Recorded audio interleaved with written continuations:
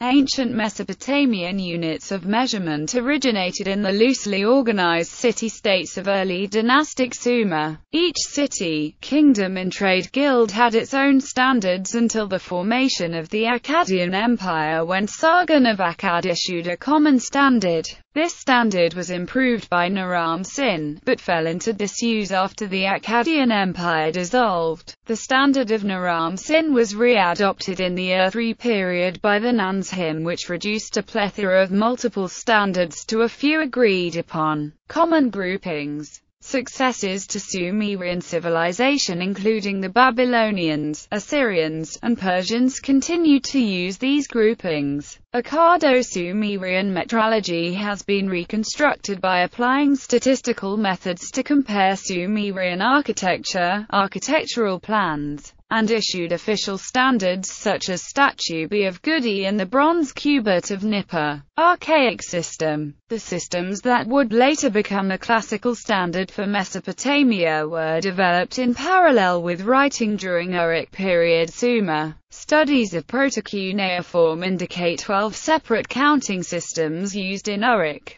Sexagesimal system S used to count slaves, animals, fish, wooden objects, stone objects, containers. Sexagesimal system S used to count dead animals, certain types of beer. Bisexagesimal system B used to count cereal, bread, fish, milk products. Bisexagesimal system B asterisk used to count rations. GAN2 system G used to count field measurement. Shay system S used to count barley by volume. Shay system S used to count malt by volume. Shay system S used to count wheat by volume. Shay system S asterisk used to count barley groats. N system E used to count weight. U4 system U used to count calendrics. Dub system DB used to count milk by volume. DUGC system DB used to count beer by volume. In early dynastic Sumer metrology and mathematics were indistinguishable and treated as a single scribal discipline. The idea of an abstract number did not yet exist. Thus all quantities were written as metrological symbols and never as numerals followed by a unit symbol.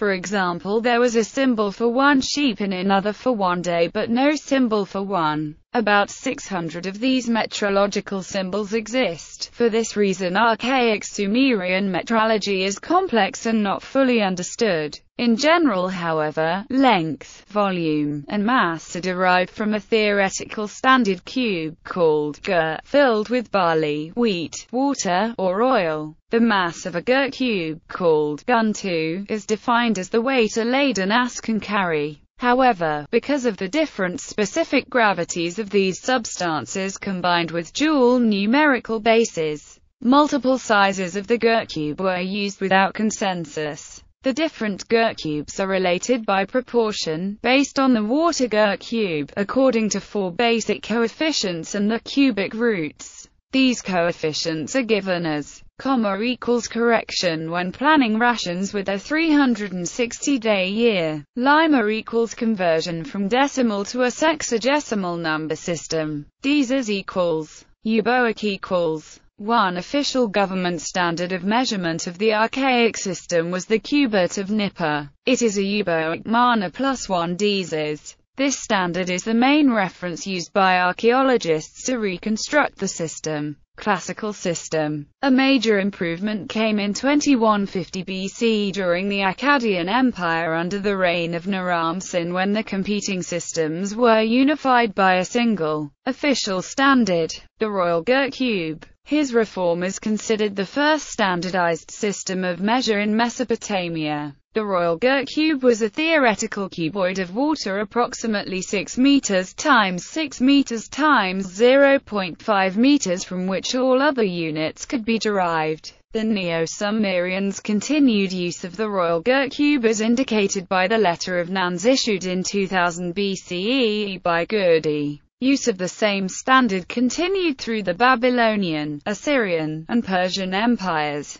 Length units of length are prefixed by the logogram due a convention of the archaic period counting system from which it was evolved. Basic length was used in architecture and field division. Distance units were geodetic as distinguished from non-geodetic basic length units.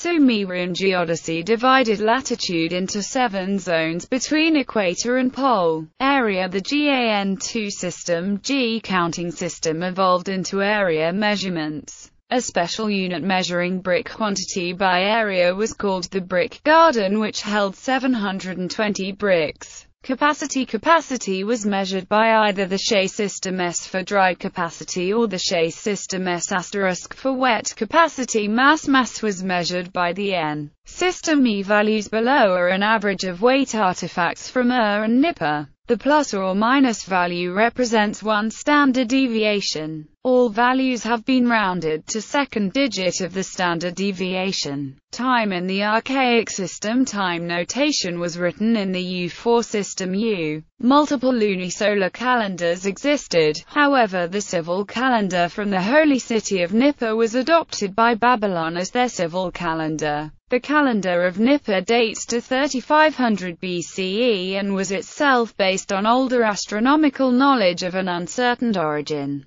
The main astronomical cycles used to construct the calendar were the synodic month, equinox year, and sidereal day. Relationship to other metrologies The classical Mesopotamian system formed the basis for Elamite, Hebrew, Urartian, Hurrian, Hittite, Ugaritic, Phoenician, Babylonian, Assyrian, Persian, Arabic, and Islamic metrologies. The classical Mesopotamian system also has a proportional relationship, by virtue of standardized commerce, to Bronze Age Harappan and Egyptian metrologies.